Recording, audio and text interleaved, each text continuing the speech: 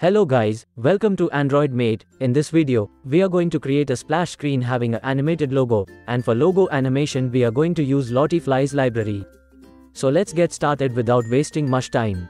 Open Android Studio. As you can see I have already created an empty project, with an empty activity which is main activity. Create a new activity, I am naming it splash activity. You can give it any name. Inside this activity we are going to add our animated logo. Then inside res folder, create a new directory and name it raw.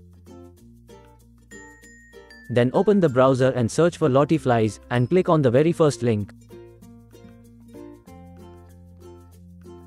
After that click on integration, then Android library. By clicking on Android library, you will be redirected to GitHub, and by scrolling down, you will get a dependency link.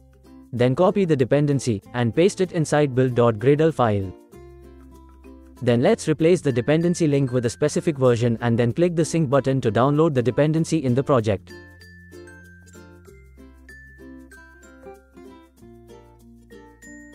We are done with this file, so we can close it now. Then go to the splash activity file. Here firstly we will add a white background to the layout. Then we are going to add a Lottie Flies animation view, where we are going to call our animated image file. So to add an animated image, we need an image, so for that open your browser again and open Lottie Flies website. And in the search bar, search for the animated images you want. Just for demonstration purpose, I am using YouTube's logo. So follow these steps to download the animated image. You can get this file in multiple formats, but for now we prefer JSON format. So download the file in JSON format and then rename it.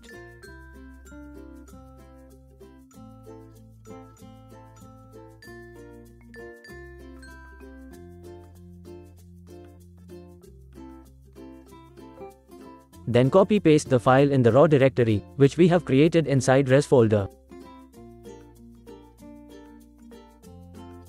Then call the file in the Lottie animated view, and then align it as per your requirement.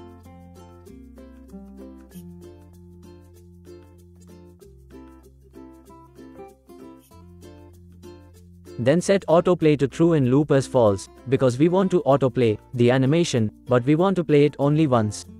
We have completed designing the UI screen, now let's go to the main activity, class file. In the class file, we will firstly declare handler and runnable for scheduling the transition from one activity to another activity on interval. Then we will initialize runnable. Basically runnable is an instance of the runnable interface, which defines a unit of work that can be executed.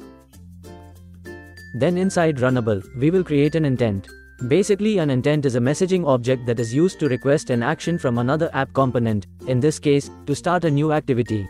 Splash activity.this is used as the context for the intent, and main activity class specifies the class of the activity to be started. Start activity intent. This line triggers the system to start the main activity using the specified intent.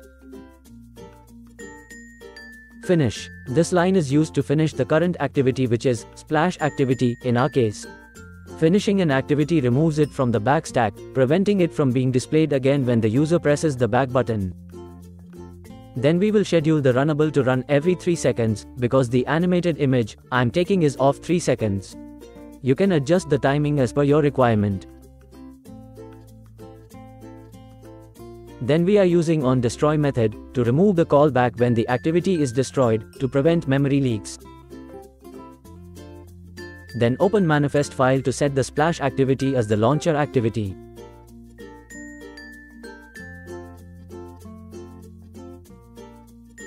So we are done coding, let's test the app.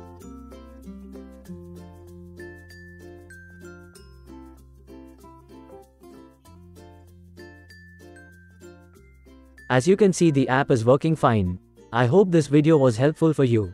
Please like, share and subscribe for more interesting videos.